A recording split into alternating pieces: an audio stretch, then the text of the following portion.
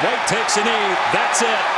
The Memphis Tigers, twice in eight days, beat the Cincinnati Bearcats and win the American. Failure is humbling. Failure reminds us that we are human and that even with extreme amounts of work and effort, nothing is guaranteed.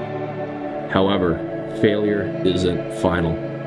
Failure does not define us. There is glory and victory and pain and defeat. One does not exist without the other.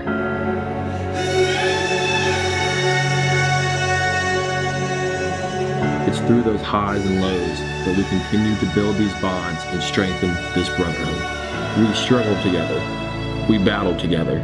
We won together. We celebrated together. And now, this team has one last championship to win. Together.